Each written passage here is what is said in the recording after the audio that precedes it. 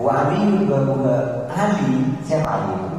Sahabatnya yang tentunya ya sebukunya bahwa pintu masuknya. Jadi Rasulullah itu gudangnya, Ali itu pintunya. Itu kata Rasulullah itu. Ada Madinatul Ilmi wa Aliyun bahwa. Nah, pintunya ilmu ini, ya pintunya gudang ini ilmu itu tidak didapat kecuali dengan enam syarat. Apa itu enam syarat?